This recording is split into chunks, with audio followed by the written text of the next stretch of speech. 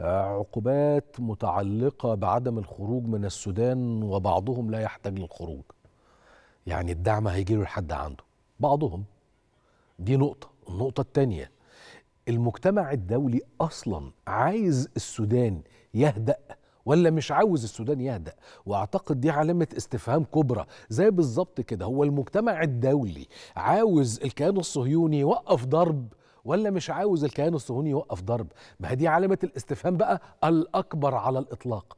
إذا المجتمع الدولي عاوز يوقف العدوان الصهيوني على فلسطين المحتلة سواء إذا كان على قطاع غزة أو على الضفة كان اتخذ القرار. وإذا كان المجتمع الدولي في خلال الأيام الأولى لإطلاق شرارة الحرب الأهلية والنزاع داخل السودان إذا كان يريد إذا كان شوف بقى إذا مش هقول لك لو أصل لو تفتح عمل الشيطان. إذا كان المجتمع الدولي عاوز يوقف اللي بيحصل في السودان كان وقف اللي بيحصل في السودان.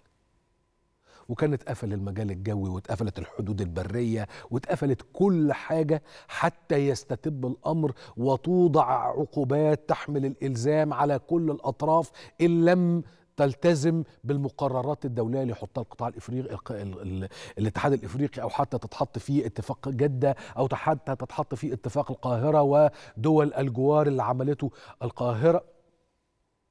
المجتمع الدولي مش عايز. المجتمع الدولي يريد للمنطقة اشتعال. حلو؟ محدود تحت رعايته. ده واحد. اتنين المجتمع الدولي عاوز مصر تبقى محاطة بالصراع من كل جانب. يبدأ يحصل حالة من الفهم لدى المجتمع الدولي إنه إحاطة مصر بالصراعات أكثر مما يجب قد يجلب مصائب كبرى مش للمنطقة لا تعنيه لمصالحه. حصل شيء من الاستيعاب وبالتالي بيحصل شيء من الحلحلة.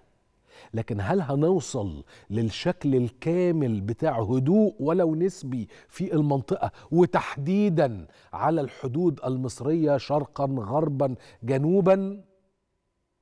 هدوء. بالمعنى الحرفي لكلمة هدوء. المجتمع الدولي مش عاوز كده.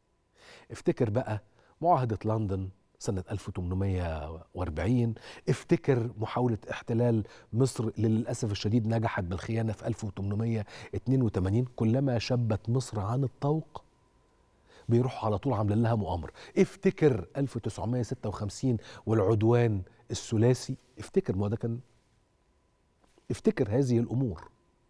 ثم تتحرر مصر من العدوان الثلاثي وتقدر تهزم هذا الاحتلال أو محاولة الاحتلال اللي جاية لنا من ثلاث جوانب إنجلترا وفرنسا وإسرائيل. طيب تبدأ مصر تشم في نفسها. هوب تحصل 67 مصر تتحرك وتطلع وتنتصر في 73 تبدأ تتحرك. يحصل اغتيال الرئيس السادات رحمة الله عليه. وهكذا. المجتمع الدولي لا يريد لمصر أن تشب عن الطوق.